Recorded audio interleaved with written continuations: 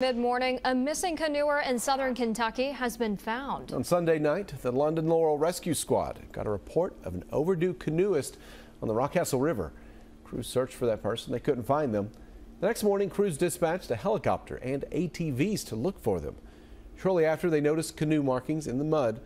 The canoeist was found in the parking lot of Bee Rock, safe and sound.